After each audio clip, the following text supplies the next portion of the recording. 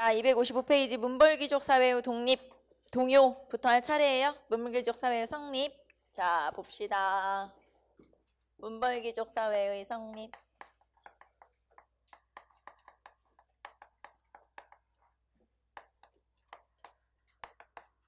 자, 문벌귀족 사회로 넘어갈게요. 지금 고려 시대의 지배층에 대해서 먼저 하도록 할게요. 자, 고려 시대는 지배층이 여러 번 바뀌어요. 고려의 지배층의 변천.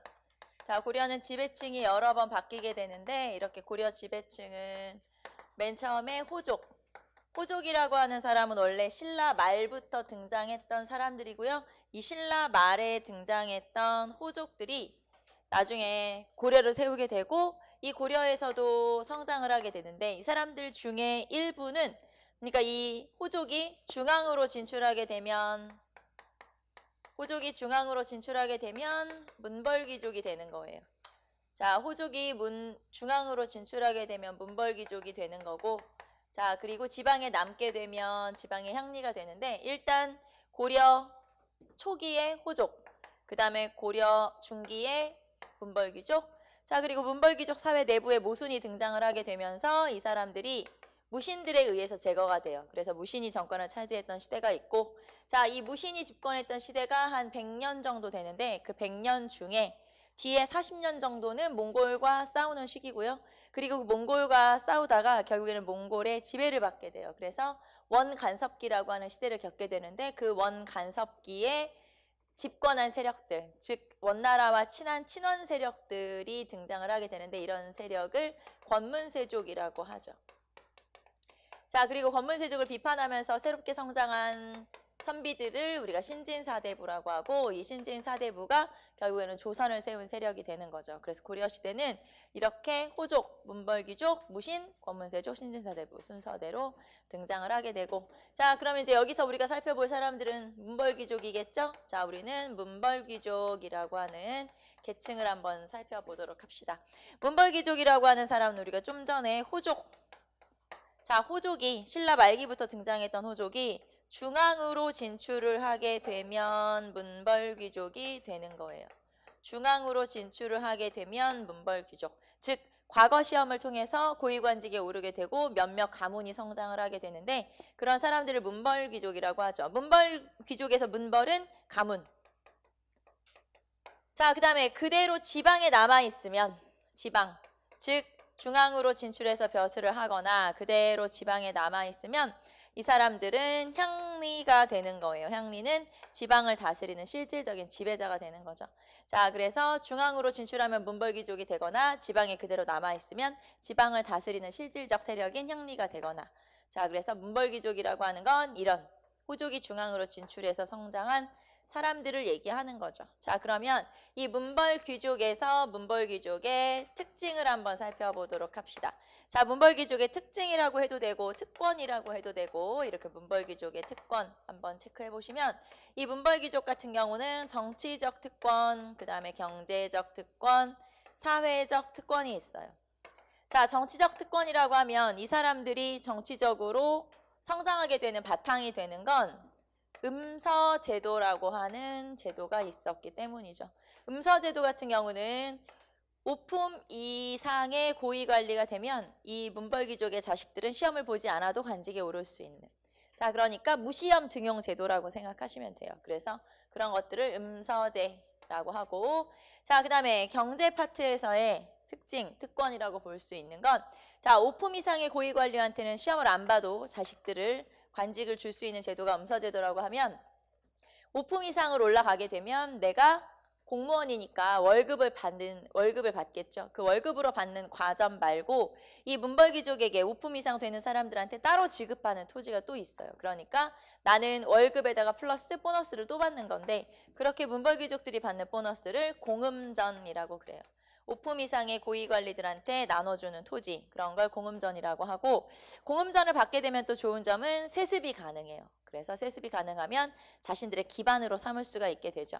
자, 그 다음에 사회적인 특권으로 가시면 자, 이 사회적인 특권은 통혼이라고 그래요. 통혼이라고 하는 건 자기들끼리끼리 결혼하는 걸 말하는데 특히 왕실과의 혼인을 통해서 권력을 누리게 되죠. 자, 특히 왕실과 혼인을 하는 이유는 왕실과 혼인을 해야 자기 외손주가 왕이 되고 그러면 권력을 차지할 수가 있기 때문이죠. 자, 이런 식으로 음서제라든가 공음전이라든가 왕실과의 결혼이라든가 이런 거를 통해서 정권을 차지하게 되는데 이렇게 권력을 차지한 몇몇 가문들이 바로 문벌 귀족이고요. 이렇게 등장한 몇몇 가문들이 예를 들면 뭐 경주 김씨, 파평 윤씨, 해주 최씨, 경원 이씨 이런 사람들이고 자 그러면 이 문벌 귀족 사회에서 우리가 좀 알아둬야 될 사람이 바로 경원 이씨. 자 그래서 경원 이씨라고 하는 가문이 이런 특권을 통해서 권력을 누리게, 누리게 되는데 특히 경원 이씨 같은 경우는 자 왕들에게 자기의 딸들을 시집 보내게 돼요. 그래서 거의 한 80여 년간 이 이씨에서만 왕비가 나오기도 하죠. 특히 이 경원 이씨 중에서 이제 우리가 알아야 되는 사람은 이자겸이라고 하는 사람이에요. 그래서 이자겸 같은 경우는 인종과 예종의 외척이죠. 자, 예종에게 자기의 딸을 시집 보냈어요. 자, 그리고 그 예종과의 딸 사이에서 태어난 아이에게 다시 자기 딸을 시집 보내게 되죠. 그러니까 예종에게 딸을 시집 보내고 이 딸과의 사이에서 태어난 인종에게 자, 다시 자기 딸을 또 두 명을 시집 보내게 되죠. 자, 그러니까 인종은 결국 누구랑 결혼한 거냐면 이모랑 결혼한 거예요.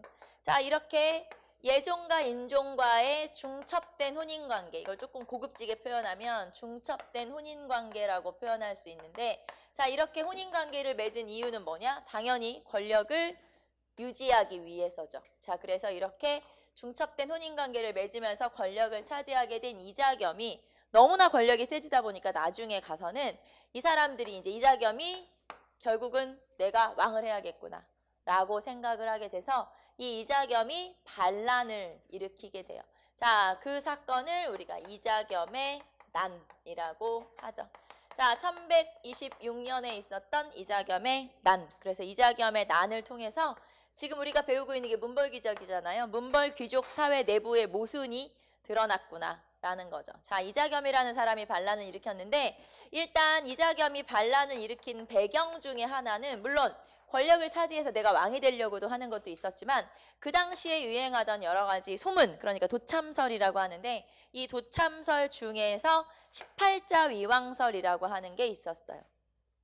자, 18자 위왕설이라고 하는 거는 말 그대로 18자가 왕이 된다라고 하는 설이거든요. 그래서 18자 위왕설이라고 하는데 자, 18자 위왕설에서 요 글씨를 다 합쳐보면 18자가 왕이 된다라는 설인데 이 18자라고 하는 요 글자를 다 합쳐보면 결국에는 이씨가 되는 거예요. 그래서 이씨가 왕이 될 것이다 라고 하는 예언 사상 또는 도참설이라고 하는데 이런 사상을 이자겸이가 믿었던 거죠. 그래서 아, 이 18자가 나구나. 이 씨가 나구나. 이렇게 생각을 한 거죠. 그래서 반란 일으키기도 하고 자, 반란을 주도한 세력이 누구냐면 이자겸과 이자겸과 함께 반란 일으킨 사람이 척준경이라고 하는 사람이에요. 그래서 이자겸과 척준경이 군거래에 쳐들어와서 반란 일으킨 사건이죠.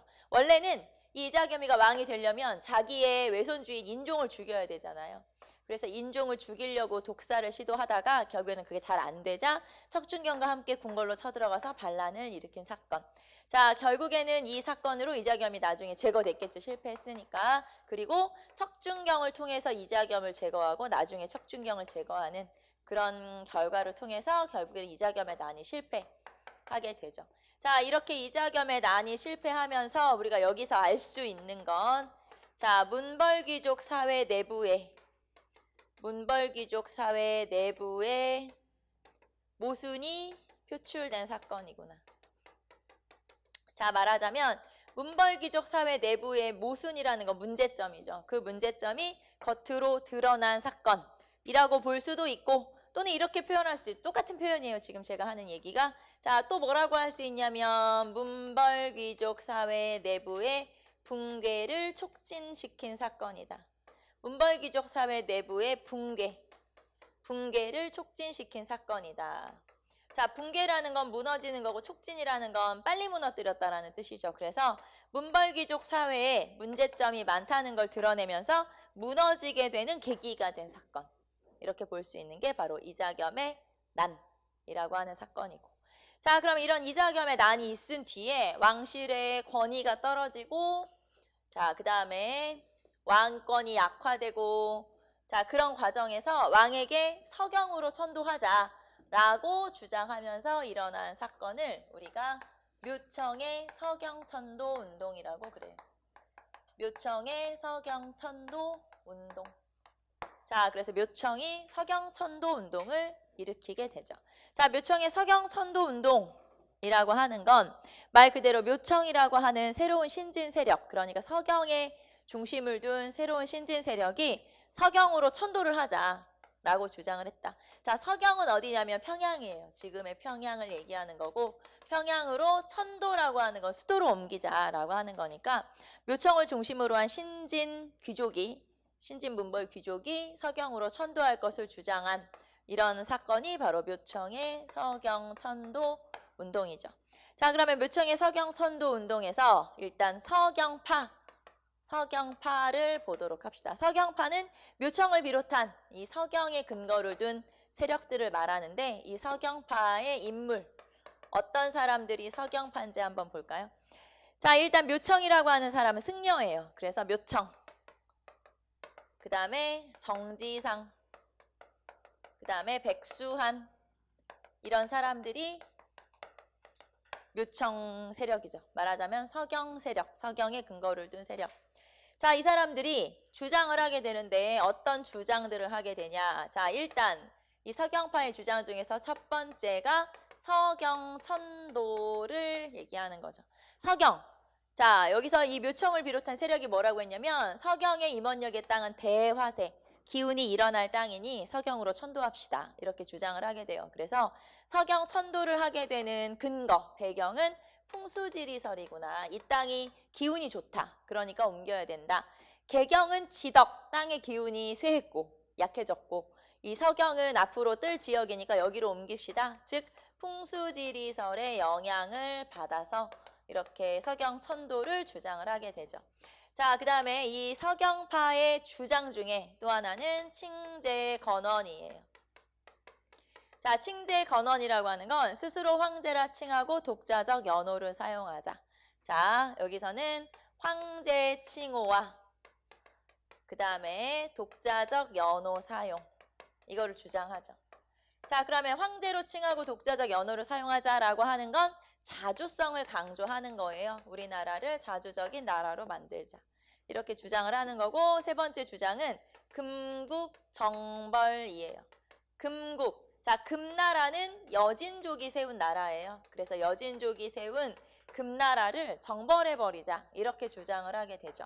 자, 그러면 여진족이 세운 금나라를 정벌하자라고 주장을 한 건, 즉, 예전에 여진족이 세운 금나라가 군신 관계를 요구한 적이 있었어요. 자, 금나라가 우리나라에게 군신 군신 관계를 요구한 적이 있었고, 자 이렇게 군신 관계를 요구하자 이것에 대해서 이자겸을 비롯한 문벌귀족 세력이 수용을 해버렸거든요. 자, 그럼 이게 무슨 말이냐면 금나라가 세워지면서 금나라가 군신 관계를 요구한다는 건 황제로 섬겨라 우리를 그렇게 요구를 했었던 건데 자 원래 요 여진족은 자 여진족이라고 하는 민족은 고려에 대해서 뭐라고 얘기했었냐면 자 여진족이 처음에는 고려를 부모로 섬길게요 이렇게 얘기했었어요. 자 그러다가 나중에 여진족이 조금 세력이 세지자 나중에 고려한테 뭐라고 했었냐면 야 우리 형제처럼 잘 지내자 이렇게 얘기했었죠.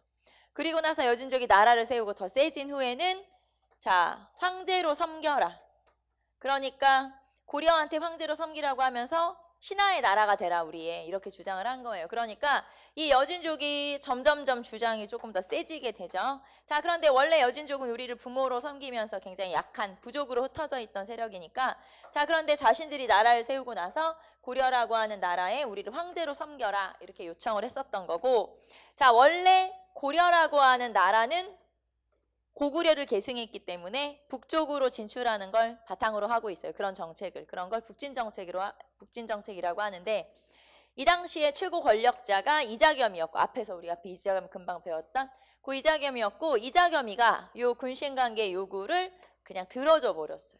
그럼 이자겸이가 군신관계 요구를 들어줬다는 건 곧 고려라고 하는 나라의 북진 정책이 이자겸 때문에 꺾여버리게 된 거죠. 좌절된 거예요. 자, 이런 적이 있었던 거예요. 요 불과 얼마 전에. 자, 그러자 요 서경파들은 차라리 그러면 금나라를 정벌합시다. 그리고 이렇게 금나라를 정벌하자고 주장한 건 즉 고구려 계승 의식을 다시 세우자. 고구려 계승 의식을 다시 명확하게 합시다. 라고 주장을 한 거나 마찬가지죠. 자, 그래서 결국에는 세 가지 주장을 한 거네요. 서경으로 천도합시다. 그리고 칭제 건원, 스스로 황제라 칭하고 독자적인 연호를 씁시다. 그리고 금나라를 정벌합시다. 이렇게 주장을 했는데 결국에는 거기에 담긴 뜻은 홍수지리설의 영향을 받은 거고 자주성을 강조한 거고 고구려 계승 의식을 강조한 거예요. 자 그러면 이런 주장 중에서 일단 서경으로 천도하자는 게 이 사람들한테 가장 심각한 문제겠죠. 자신들의 존망이 달려있는. 자 그래서 이렇게 서경천도를 주장을 했는데 결국에는 이 서경 천도를 개경 세력이 반대하게 되죠. 자 지금도 수도로 옮기자라고 하면 누가 제일 반대하냐? 서울 사람들이 제일 반대하겠죠. 그러니까 결국에는 서경 천도를 개경 세력이 이 서경파에 반대되는 인물이 개경파거든요. 이 개경파가 반대를 하게 돼요. 자, 그런데 이제 이때 이 묘청을 비롯한 이 세력들이 왕에게 계속 건의를 하고 있었어요. 서경으로 옮깁시다. 서경으로 옮깁시다. 계속 이제 건의를 하고 있었죠. 쉽게 말하면 왕을 꼬시고 있었던 거예요. 그래서 왕도 이 당시에 왕이 인종이었는데 인종은 이때 한번 이자겸한테 당한 적이 있잖아요. 그러니까 인종 이제 귀가 얇아진 거야. 그래서 서경으로 천도하자고 하니까 그래 그럼 서경으로 천도할까? 심지어는 궁궐을 지었어요. 그래서 서경으로 천도를 해야겠다라고 마음을 먹었는데 개경 세력들이 너무 반대를 하니까 선뜻 나서지를 못하고 있는 상황이죠. 자, 그런데도 이제 묘청을 비롯한 이 사람들이 계속 왕에게 이제 제안을 하게 되죠. 서경으로 옮겨야 됩니다. 서경으로 옮겨야 됩니다. 자, 그런데 결국에는 이 개경파들의 반대가 너무 극심해서 이 서경파, 즉 묘청을 비롯한 세력들이 실행을 못하게 된 거예요. 결국에는 왕이 주저주저 하다가 결국에는 그냥 개경에 다시 눌러 앉아버리게 된 거죠. 자, 그러면 이 서경파들은 어떻게 이제 뭘 어떻게 해볼 수가 없는 거잖아요. 자, 그래서 결국에 이 사람들이 선택한 건 안 되겠다. 그냥 우리끼리 나라를 세워서 반란 일으키자. 자, 그래서 결국에는 묘청을 비롯한 세력들, 이 서경파들이 반란을 일으키게 돼요. 자, 이거를 묘청의 난, 묘청의 난, 묘청의 서경천도 운동 같은 얘기죠. 그래서 묘청이 결국에는 반란을 일으키게 되었다. 자, 그럼 반란을 일으켰다는 건 결국에 나라 안에 나라를 세운 거예요. 자, 그래서 나라 안에 나라를 세웠네. 자, 그러면 묘청의 난에서 나라 이름을 뭐라고 했냐? 대위국. 자, 그 다음에 연호를 뭐라고 했냐면 천개. 자, 그리고 군대를 천견충이군이라고 했어요. 천견충이군. 자, 그래서 나라 이름 대위국, 연호는 천개, 군대는 천경충이궁. 자, 그리고 궁궐을 지었다고 했죠. 그래서 궁궐은 대화궁. 궁궐은 대화궁. 자, 그리고 여기다가 팔성당이라고 하는 신당을 짓고 신당, 사당, 팔성당이라고 하는 사당을 짓고 자, 나라를 세울 준비를 한 거죠. 나라 안에 나라를 세워버려. 우리끼리 반란 일으켜버려. 그게 바로 묘청의 난이고요. 자, 결국에는 이런 묘청의 난을 개경파가 진압을 하게 되는데 이 개경파의 가장 대표적인 인물이 김부식이에요. 그래서 김부식이 이 반란을 약 1년 만에 진압을 하게 되죠. 자, 개경파 김부식이 진압을 하게 된다. 시험에는 뭘 물어볼 수 있냐면 이걸 물어볼 수 있죠. 나라 이름 뭐냐, 연호는 뭐지, 군대는 누구야, 궁궐은 뭐지 이런 걸 물어볼 수 있어요. 그러니까 여러분이 궁궐까지도 알아두시고 자, 그 다음에 개경파가 결국엔 진압을 했죠. 결국엔 실패로 돌아가는데 그 개경파의 가장 대표적인 인물이 김부식이라고 하는 인물이죠. 자, 김부식은 뒤에 문 아파트 가면 다시 나오겠지만 이 묘청의 난을 진압한 사람이기도 하고 김부식 같은 경우는 삼국사기 지금 남아있는 우리나라의 모든 역사책 중에 가장 오래된 책이 삼국사기인데 그 삼국사기를 편찬한 사람이기도 하죠. 그게 바로 김부식이에요. 그래서 묘청의 난이라고 하는 사건이 있었고 결국에는 묘청의 난이 실패로 돌아가게 되죠. 자, 그러면 묘청의 난이 실패로 돌아갔지. 결국에 이제 끝나버리게 되고 이 고려라고 하는 나라는 더욱더 보수적인 성향으로 바뀌게 돼서 나중에는 이제 무신들에 의해서 아예 다 무신들이 이제 정권을 차지하는 사건이 일어나는데 자, 어쨌든 이런 묘청의 난이라고 하는 결국에는 어 반란 일으킨 사건 수도를 옮기자고 주장을 하다가 수도를 서경으로 옮기자고 주장을 하다가 결국에는 실패하고 반란 일으킨 사건이 있었는데 이 사건에 대해서 나중에 신채호라고 하는 역사학자가 있었어요. 신채호는 조선 후기 자 그리고 일제시대 그때의 역사학자인 신채호가 이 묘청의 난을 엄청 중요한 사건이다 라고 평가를 하기도 하는데 자 신채호가 조선사 연구초라고 하는 책을 썼어요. 조선사 연구초라고 하는 책에서 뭐라고 평가하냐면 조선 역사 1천년 내의 제1대 사건이다. 자, 1천년 내의 제1대 사건 이렇게 표현해요.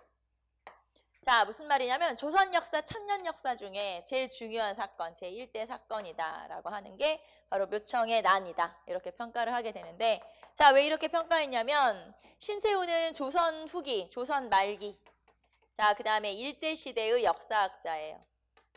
이 사람이 고민을 한 거죠. 뭘 고민했냐면 왜 우리 조선이 일본의 식민지가 됐지? 고민을 한 거예요. 자, 그리고 이 사람이 이제 생각해 봤을 때 왜 우리가 조선에 조선이 일본의 식민지가 됐냐면 조선이란 나라가 너무나 유교적이고 사대적이고 속박적인 그런 성향을 가져서 보수적인 성향을 가져서 우리나라가 이렇게 일제시대가 된 거구나. 일본에게 먹힌 거구나. 자, 그러면 조선의 역사들을 한번 쭉 거슬러 가본 거예요. 어떻게 거슬러 가봤냐면 우리나라가 그럼 언제부터 이렇게 보수적이고 사대적이고 유박 유교적이고 속박적인 그런 성향을 띠게 됐지? 그래서 조선시대 역사를 거꾸로 이제 거슬러 가본 거죠. 자, 쭉 거슬러서 내려가 보니까 여기서부터.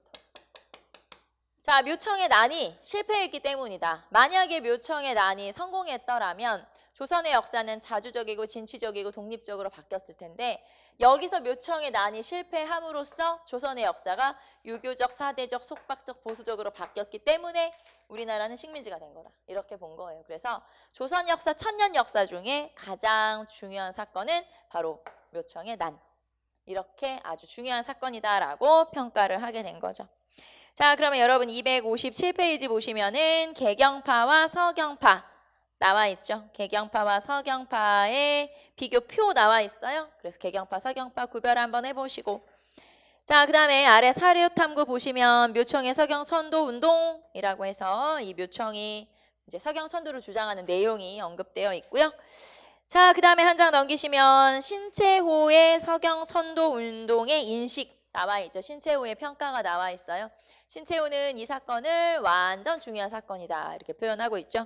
자 거기 보시면은 세 번째 줄에 자 난가와 불교 양가 대 유교의 싸움이며 국풍파 대 한학파의 싸움이며 독립당 대 사대당의 싸움이며 진취사상 대 보수사상의 싸움이니 묘청은 전자의 대표요 김부식은 후자의 대표였던 것이다. 자 말하자면 지금 난가와 불교 양가 그리고 국풍파 그리고 독립당 그리고 진취사상 자, 지금 제가 앞에 것만 읽었어요. 이 앞에 거는 전부 다 묘청과 관련된 거예요. 그래서 시험에는 이걸 물어보기도 하죠. 다음 중 묘청과 관련된 내용만 골라라. 그러면 앞에 거를 찾으시면 되겠죠. 자, 이렇게 묘청에 관련된 거 한번 체크해 보시고 자, 그랬기 때문에 묘청의 나는 이렇게 중요하다. 자, 그래서 1천년대 제1대 사건이다 라고 표현을 하고 있어요. 자, 여기까지가 이제 문벌귀족 사회와 관련된 내용이고 자, 그러면 이렇게 문벌귀족 사회가 여러 가지 묘순이 많구나, 여러 가지 문제점이 많구나라는 걸 드러낸 사건이 금방 나왔던 이자겸의 난 그리고 묘청의 난 이렇게 두 번의 사건이 있었고요. 자, 결국에는 이렇게 문벌귀족 사회가 붕괴, 말하자면 무너져 내린 사건이 무신정변이에요. 말하자면 문신들이 너무 문제가 많아서 무신들이 싹 죽이고 정권을 차지해버린 거예요. 그게 무신정변이라고 하는 사건이죠. 자, 무신정변은 1170년 의종 때 있었던 사건이고요. 자, 우리는 무신정변에서 중요한 내용을 한번 정리를 해봅시다. 자, 무신정변.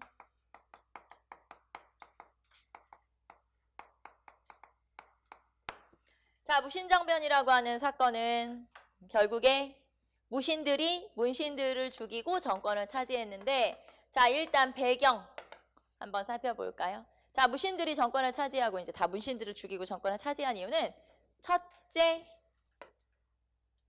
숭문 천무의 분이기 때문에 그래요. 자, 첫 번째 원인은 숭문, 천무의 분이기 때문에 그렇다. 자, 숭문, 문을 숭상하고 무를 천시한다. 자, 문을 숭상하고 무를 숭시 이제 무를 천시한다는 건 고려라고 하는 나라 분위기 전체가 그랬다는 거예요. 그러니까 문시는 우대하고 무시는 천대했어. 이게 이제 숭문천무라고 표현할 수 있는데 자, 그럼 이 숭문천무와 관련된 게 여러 가지가 있어요. 말하자면 왜 문을 숭상하고 무를 천시했지? 라고 하는 걸 여러 가지를 보고 우리가 알 수 있는데 첫 번째, 무과 시험이 없었어요.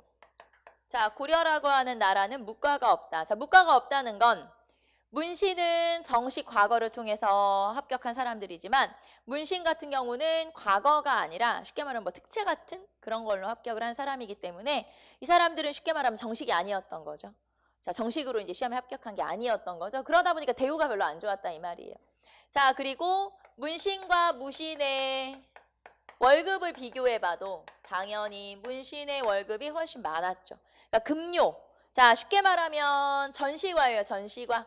자, 전시과는 월급이에요, 월급. 전시과의 지급에 있어서도 자, 전시과라는 건 관리한테 월급으로 토지, 토지를 주는 건데 이 전시과에 있어서도 문신과 문관과 무관에 대해서 문관이 훨씬 월급이 많았다. 당연히 같은 등급에서 월급을 많이 받으면 열받죠. 쟤는 월급 많이 받고 나는 조금 받으면. 그래서 이런 전시가 체제의 문제도 있었고 자, 그 다음에 만약에 전쟁이 난다. 그러면 지휘관의 역할은 누가 담당하냐면 문관이 담당해요. 자, 그래서 고려 시대에 어, 이 사람 장군이라고 우리가 알고 있는 사람이 장군이 아닐 수도 있다. 대부분 장군이 아니에요. 다 그냥 문관, 지휘관의 역할을 했던 문관일 뿐이죠. 자, 그래서 이런 것들이 있죠. 그러니까 기본적으로 무과도 실시 안 했지. 그 다음에 전시과에서 월급도 차별이 있지. 거기에다가 지휘관은 다 문관이지. 그 다음에 승진, 무관 같은 경우는 승진의 제약도 있었어요. 그러니까 문관은 정일품까지 쭉 올라갈 수 있지만 이 무관 같은 경우는 어느 정도까지 올라가면 더 이상 못 올라가는 거죠. 승진의 제한도 있었다. 자, 그러니까 이런 여러 가지 때문에 불만을 가질 수밖에 없죠. 그게 바로 숙문천무의 분위기 때문이고 두 번째로는 의종이 정치를 잘 못했기 때문이에요. 자, 여기서 실정이라고 하는 단어가 정치를 잘 못함 이런 뜻이에요. 자, 그러니까 왕이 정치를 잘 못하는 거야. 근데 왕이 왜 정치를 잘 못하냐? 처음부터 왕이 정치를 못했던 건 아니죠. 왕이 정치 좀 해보려고 했는데 자, 이 왕의 개혁이라든가 여러 가지 정책을 문벌 귀족들이 지금 힘이 세기 때문에 이 문벌 귀족들이 계속 이제 막아서는 거죠. 방해를 하거나. 왜냐하면 뭔가 개혁을 하면 자신들의 권한이 좀 줄어들 것 같으니까 개혁을 막거나 방해를 하거나 자 그러다 보니까 의종이 결국에는 일이고 뭐고 다 귀찮은 거죠. 어차피 못하게 할 거니까. 그래서 나중에는 그냥 젊은 문신들 데리고 놀러 다니는 거예요. 계속 일 안 하고 일 열심히 안 하고. 자 이렇게 의종이 정치를 잘 못하니까 그것에 대해서 무관들이 불만을 품고 결국에는 반란을 일으켰다. 자 그래서 직접적 계기가 된 사건은 보현원 놀이라고 하는 사건이에요. 보현원 놀이는 간단하게 보현원이라고 하는 절 같은 데로 이제 왕이 놀러를 간 건데 그냥 술 모임 같은 거 간 거죠. 자, 그래서 젊은 문신들과 같이 자기들끼리 어울리는데 무관들을 호위병으로 이렇게 나이 많은 무관들을 호위병으로 세워놓으니까 이제 거기서부터 자존심도 상하고 기분도 나쁘고 의종이 정치도 못하고 자 그래서 드디어 문신들이 무신들이 반란을 주도한 거죠. 그래서 결국에는 정중부의 난이 일어나게 돼요. 정중부의 난. 자, 그리고 정중부의 난은 경인의 난이라고도 부르는데 이게 바로 무신정변. 정중부의 난, 경인의 난, 이게 무신정변. 그래서 결국에는 무신정변이 일어나면서 무신정변 다 똑같은 말이에요. 정중부의 난, 경인의 난, 무신정변 다 똑같은 거죠. 자, 이때 문신들을 다 죽이고 우리가 정권을 차지해버리자. 그래서 정중부를 중심으로 한 정중부, 이의방, 이고 이런 사람들이 중심이 돼서 반란 일으킨 사건. 그 사건을 정중부의 난, 무신정변 이라고 하죠. 자, 그럼 이제 여러분하고 뭘 살펴볼 거냐면 이렇게 무신정변을 일으킨 사람들이 정권을 차지하게 되는데 그 사람들에 대해서 얘기를 좀 해봅시다. 자, 무신들이 정권을 차지했는데 이 사람들이 막 엄청난 계획을 세워서 자 미리 계획을 막 짜가지고 이렇게 무신정을 일으킨 게 아니라 어떻게 보면 이제 갑작스럽게 정변을 일으키게 되면서 이 사람들이 정권을 차지했는데 사실 문신하고 무신 중에 그럼 정치는 누가 잘하냐? 문신이 잘하죠 아무래도.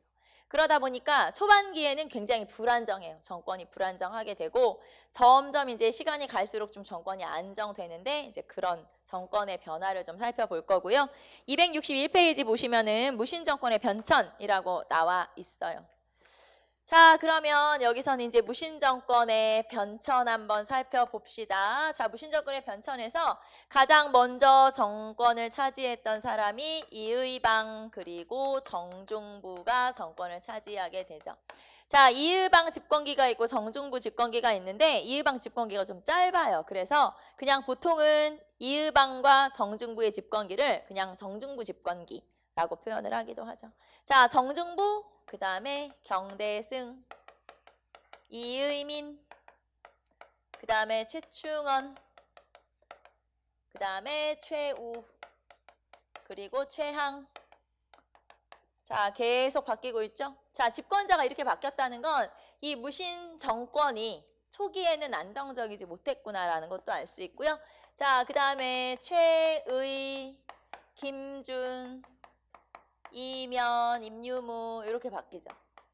자 이렇게 집권자가 계속 바뀌는데 자 이제 여기까지가 무신 집권기에 바뀐 사람들이고요. 자 그럼 이제 여기서 우리가 이 사람들 이름만 보더라도 알 수 있는 게 있어요. 자 이의방에서부터 이음인까지는 계속 바뀌죠. 이씨였다가 정씨였다가 경씨였다가 이씨였다가 바뀌잖아요. 자 이렇게 집권 세력이 바뀐다는 건 아직까지 무신 정권이 안정적이지 못한다는 얘기예요. 자 말하자면 이의방을 제거하고 정중부가 정권을 차지했고 그리고 경대승이 정중부를 제거하고 정권을 차지했고 이런 식으로. 자 그랬기 때문에 이 시기는 인제 성립기 말하자면 무신정변이 무신 집권이 성립되는 시기 이렇게 볼 수 있고 자, 그 다음에 최충원부터 최의까지 보시면 전부 다 최씨죠. 자, 이거는 아들한테 권력을 물려줬다는 얘기예요. 그럼 아들한테 권력을 물려줬어? 자, 그러니까 이 시기는 그나마 안정된 시기라고 볼 수 있죠. 그래서 무신정권의 안정기라고 볼 수가 있죠. 자, 물론 무신정권의 안정기라고 해서 그러면 나라가 안정됐냐, 권력이 안정된 거냐. 자, 이거는 나라가 안정된 건 아니고요. 그냥 이 사람들의 권력만 안정된 거죠. 자 말하자면 정치는 그래도 누가 잘하냐? 문신이 잘해요. 그러니까 이 무신 집권기는 처음부터 끝까지 다 정치는 별로야. 그냥 본인들의 권력을 안정시키기 위해서 안정적으로 정치를 했던 것 뿐이지 말하자면 백성들의 삶이 나아진 건 아니에요. 그냥 자신들의 권력만 안정된 거지. 자, 그 다음에 김준이 최의를 죽이고 정권을 차지해요. 그래서 이 뒤에는 쇠퇴기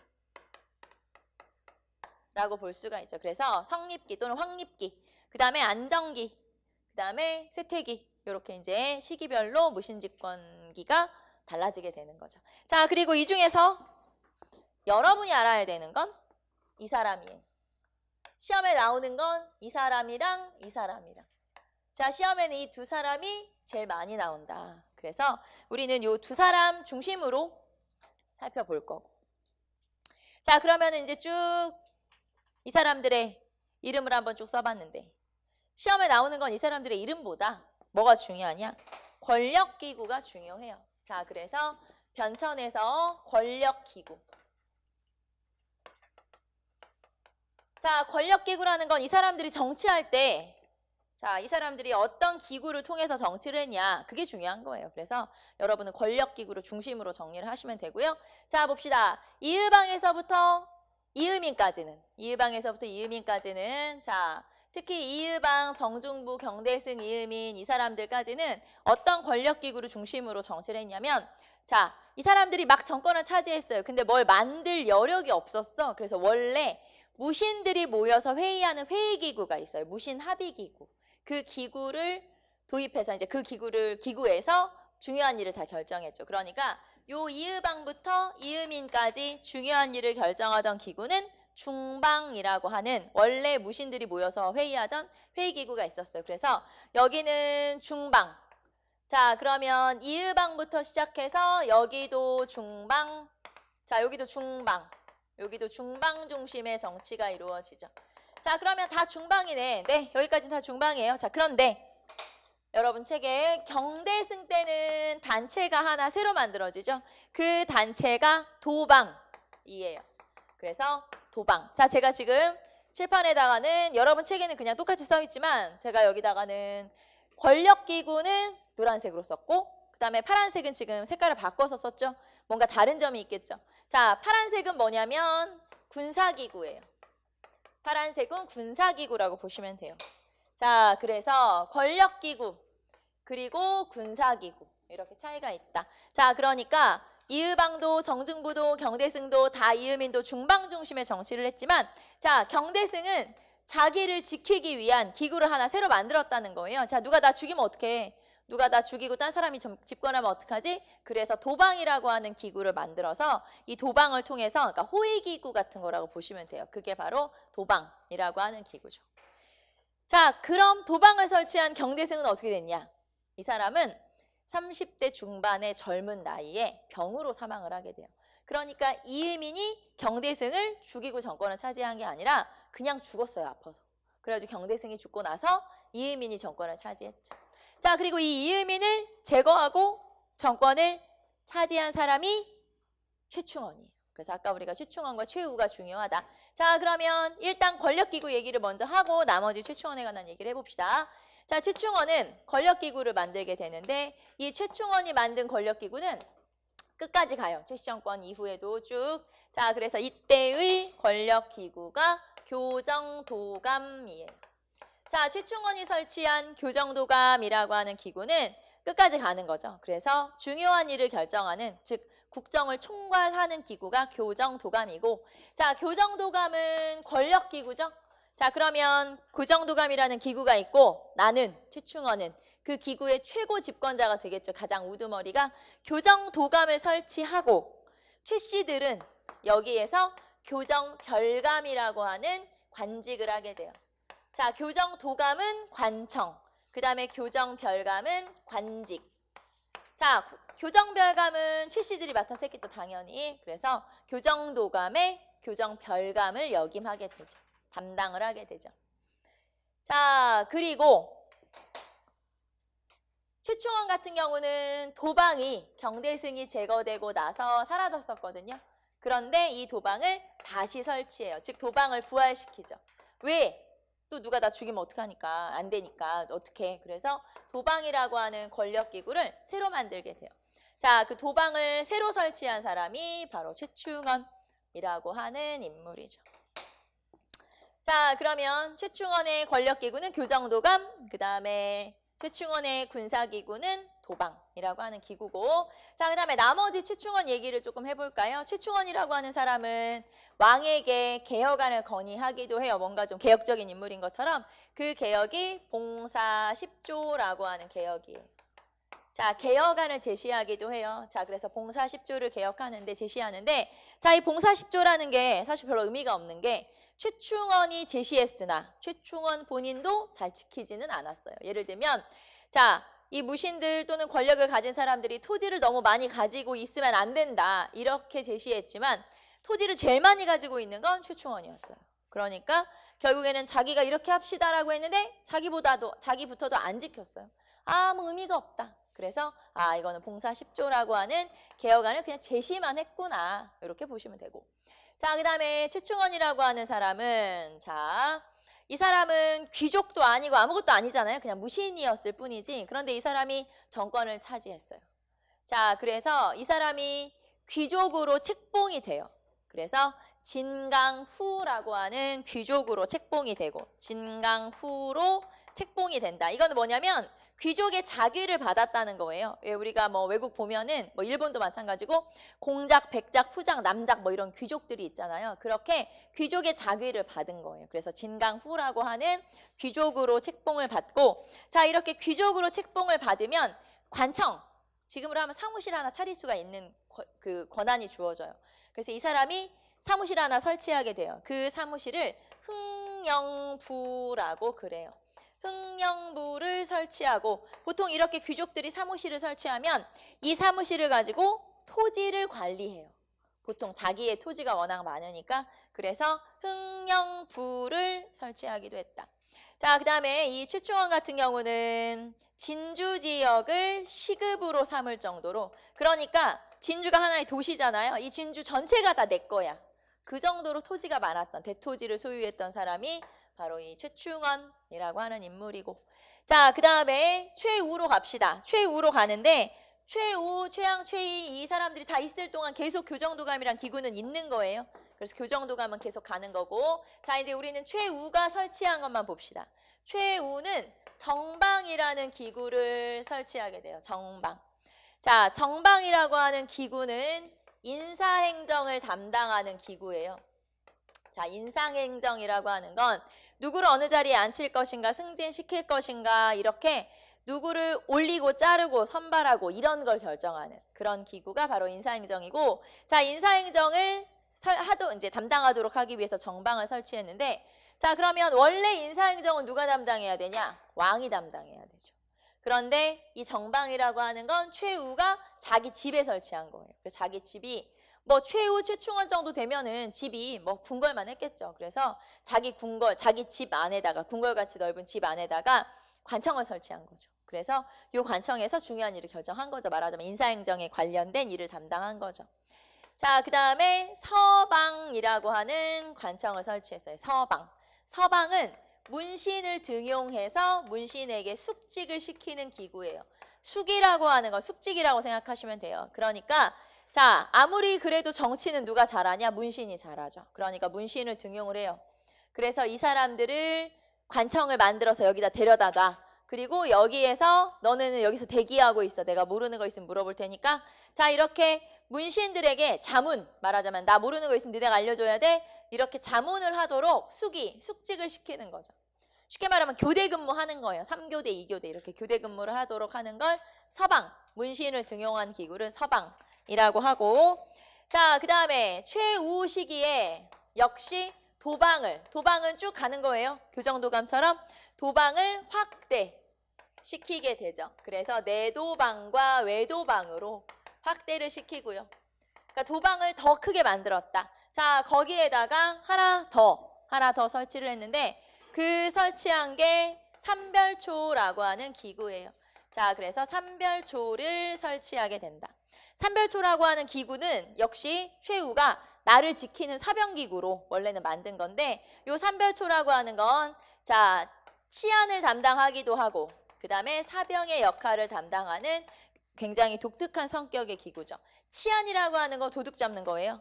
그 다음에 사병이라는 건 나를 지켜라 이런 거예요. 그러니까 최우를 지키기도 하고 그 다음에 치안을 담당해서 공적인 일도 하고 그러니까 공적 업무와 사적 업무를 둘 다 담당하는 굉장히 독특한 성격의 그런 기구가 바로 삼별초라고 하는 건데 삼별초는 원래 야별초에서 시작했어요. 야별초라는 건 야 밤에 도둑 지켜? 자 그런데 삼별초가 할 일이 많아져가지고 두 개로 나눠졌어요. 좌별초에다가 우별초. 자 할 일이 많아져서 두 개로 쪼갰어. 좌별초와 우별초. 자 이렇게 좌별초와 우별초로 나누고 여기에다가 신의군이라고 해서 자 이 당시에는 몽골이랑 싸우던 때예요. 그래서 몽골한테 잡혀갔다가 다시 도망 온 사람들을 모아서 군대를 편성했는데 그 사람들은 신의군. 자, 그러니까 좌별초 한 개, 우별초 한 개, 신의군 한 개. 총 몇 개? 세 개. 삼별초. 그래서 삼별초라고 불렀고요. 자, 그리고 이 삼별초는 뒤에 가서 다시 한번 나올 건데 이 삼별초가 다시 나오는 이유는 자, 몽골과 싸울 때 이, 사, 이 군대는 원래 몽골이랑 싸우려고 만든 건 아니었는데 몽골과 싸울 때 끝까지 몽골에 저항을 하게 돼요. 그래서 몽골에 끝까지 저항한 군대로서 삼별초가 다시 한번 언급이 될 거예요. 자, 그래서 최충원 시기에는 교정도감 그대로 존재하고 그 다음에 정방 새로 생겼죠. 서방 새로 생겼지. 도방은 더 커졌지. 삼별초 생겼지. 이런 여러 가지가 만들어진 시기고요. 자, 그 다음에 나머지 최우 얘기해 볼게요. 자, 최우는 진양 후로 책봉이 돼요. 이 사람도 귀족은 아니잖아요. 그런데 최고 권력자니까 귀족에 자기를 주고 진양 후로 책봉이 되고 그래서 진양부를 설치하게 되죠. 진양부 또는 여기 흥령부 그냥 관청이라고 했어요. 자, 그 다음에 이 최우 집권기에 몽골과 전쟁이 나요. 그래서 몽골과 전쟁이 났기 때문에 수도로 옮겨서 방어를 하게 되죠. 그래서 강화도로 천도를 하게 돼요. 강화도로 수도로 옮겼, 옮겼다. 몽골에 저항하기 위해서. 자, 그리고 이 당시에 몽골과 저항을 하다가 초조대장경이라고 해서 거란의 침입을 부처의 힘으로 막으려고 했던 그런 불교 경장이 있어요. 장, 그러니까 대장경이라고 하는 경전. 자, 그게 불타버리자 새로 만들었죠. 그 새로 만든 대장경을 팔만대장경이라고 그래요. 자, 그래서 팔만대장경의 조판이 시작된 시기도 바로 최우 집권기. 자, 그래서 최우는 예술적인 어떤 그런 소양도 굉장히 훌륭했던 사람이어서 이 최우 같은 경우는 본인 스스로 서예가 이 고려를 대표하는 서예가들이 몇 명 있는데 그 사람 중에 한 명이기도 했던 게 바로 최우라고 하는 사람이죠. 그래서 이런 여러 가지 최우와 관련된 얘기들이 등장을 하게 되죠. 자, 그래서 제일 중요한 사람 최충원하고 그 다음에 최우 라고 하는 사람이 중요하다라는 걸 알 수가 있고요.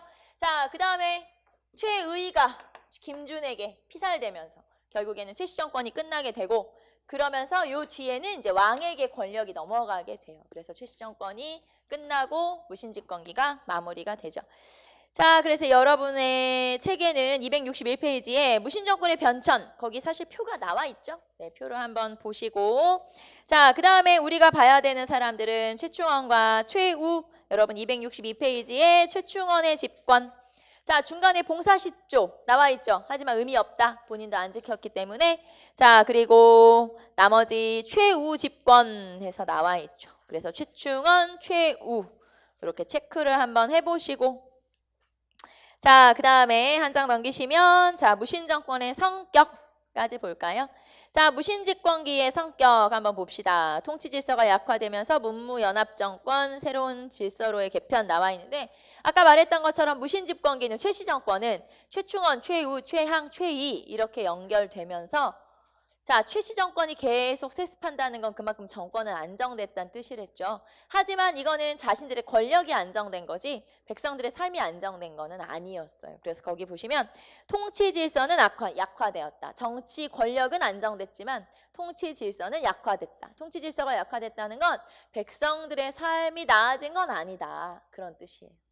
자, 그래서 최씨 정권의 성격 자, 그러면 이제 이렇게 최씨 정권이 끝나고 나서 무신집권기가 곧 마무리가 되는데 자 이제 우리는 무신집권기 사회의 전반적인 얘기를 조금 더 해볼까요? 거기 보시면은 사회의 동요.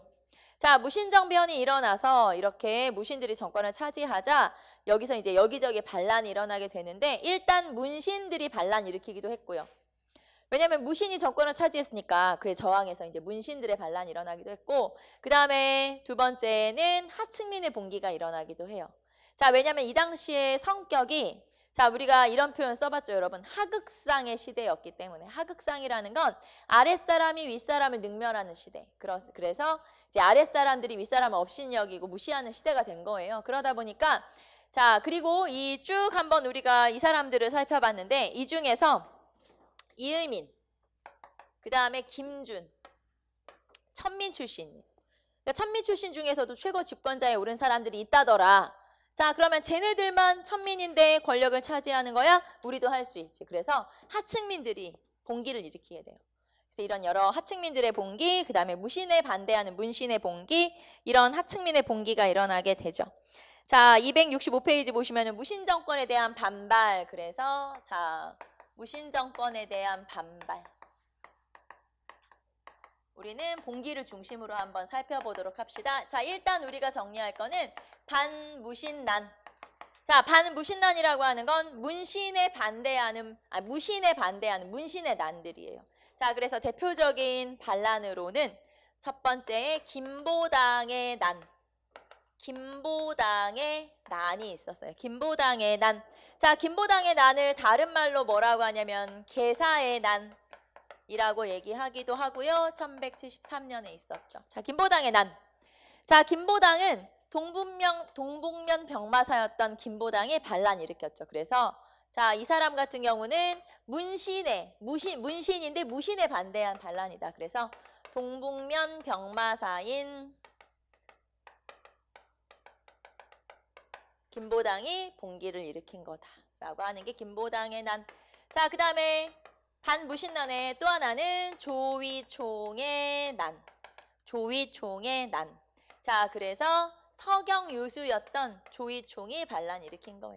서경유수였던 조위총이 반란 일으켰는데 자, 이 사람이 서경유수였으니까 문신이었죠. 그런데 서경유수인 조위총이 반란 일으켰으나 나중에 가면은 이 봉기의 성격이 농민봉기의 성격을 띠게 돼요.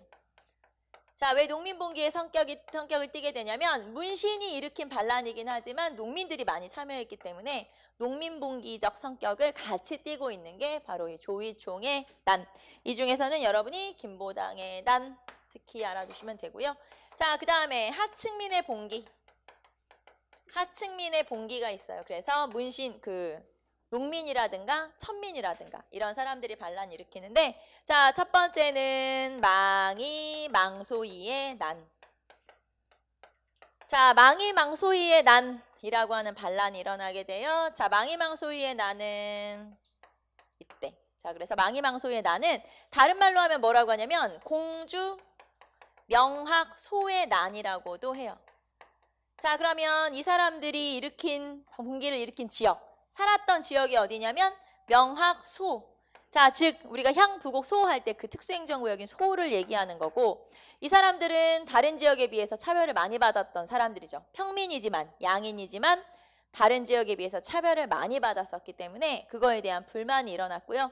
자, 그러자 이 공주 명학 소를 충순현으로 승격을 시켜줘요. 현으로 일반 행정구역으로 승격을 시켜주기도 해서 이 지역 사람들을 회유, 달래기도 했던 게 바로 망이망소이의 난. 자, 그 다음에 김삼이 효심의 난. 김삼이 효심의 난이 있었죠.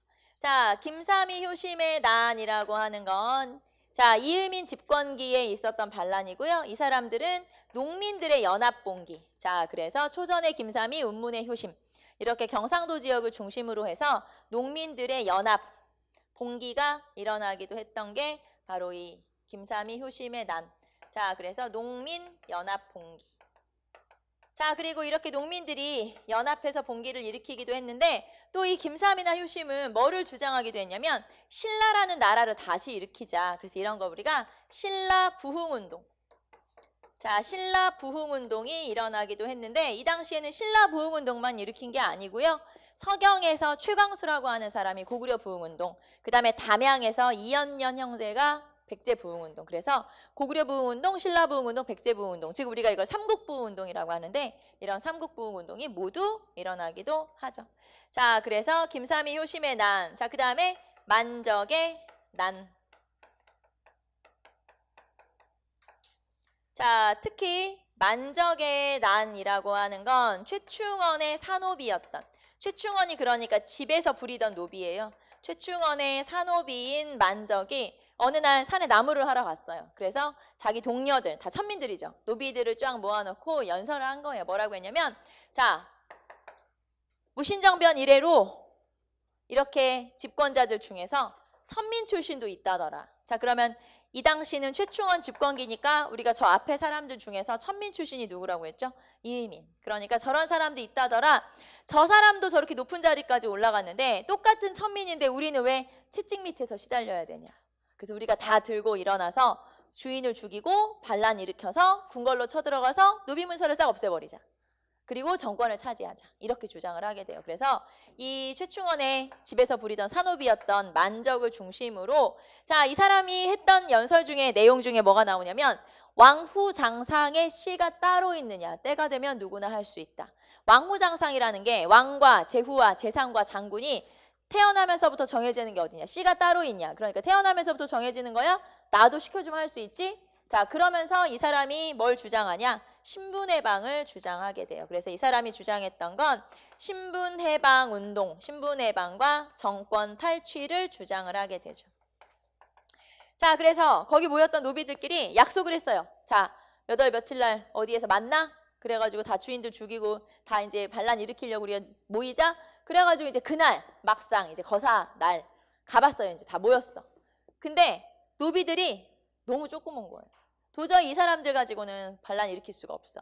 그래서 며칠 뒤에 약속을 미루게 되죠. 그래서 다 이제 자기들끼리 종이에다가 이제 뭘 써가지고 징표를 나눠 갖고 자 이제 몇 월 며칠에 다시 만나. 그래가지고 이제 그날 이제 만나야 되는데 그 전에 꼭 일이 이렇게 되면은 틀어지는 거잖아요. 나중에 뭐 또 만나 뭘 어떻게 해 막 이렇게 되면 그래서 결국에는 그 중에 한 명이 그 중에 이제 노비 중에 한 명이 자기 주인한테 가서 다 얘기를 해버린 거예요. 결국에는 이제 발설이 돼버린 거고 결국 이 노비들이 잡혀가서 이제 고초를 겪게 된 거죠. 그게 바로 만적의 난. 그러니까 실제로 만적은 반란을 일으키려고 준비는 한 거지만 사실은 뭐 실제로 무슨 일이 막 크게 일어나거나 그런 건 아니었죠. 하지만 어쨌든 이 만적이라고 하는 사람이 자, 뭘 주장했냐면 신분의 방을 주장하게 되죠. 그래서 요 봉기 중에서 제일 중요한 가장 시험에는 많이 나오는 그게 바로 만적의 난 그리고 만적이 주장한 건 신분의 방.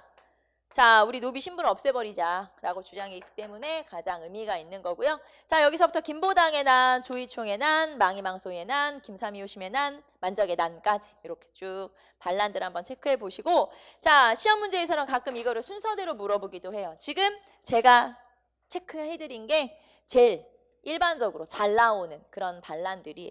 그래서 여러분 책에 보시면은 더 많은 반란들이 나오긴 하는데 이 중에서 요 한 다섯 가지 정도가 가장 핵심이에요. 그래서 요 다섯 가지 정도는 체크를 좀 해두시고 자 그리고 그 중에서는 만적의 난, 네, 만적의 난이 좀 중요하다. 자, 265페이지 보시면은 망이망소이의 난 사료 나와 있으니까 여러분 딱 읽고 아 망이망소의 난이구나 체크 한번 해보시고 자, 그 다음에 최광수의 난, 이연년의 난 다 나오고요. 자, 266페이지에 만적의 난 사료가 나오죠. 자, 만적의 난에서는 그 사료에서 세 번째 줄에 나오네요. 왕우장상의 시가 따로 있느냐 때가 오면 아무나 할 수 있는 것이다. 자, 이를 통해서 알 수 있는 만적의 난의 성격이 뭐냐 물어보면 신분의 방운동 이렇게 찾으시면 되죠. 자, 그래서 우리가 만적의 난까지 체크를 한번 해봤고요. 자, 그래서 여기까지 지금 문벌귀족 사회에 대해서 여러분이 정리를 쭉 해봤고, 자, 우리는 잠깐 쉬었다가 이제 대외관계로 넘어가도록 할게요. 잠깐 쉽시다.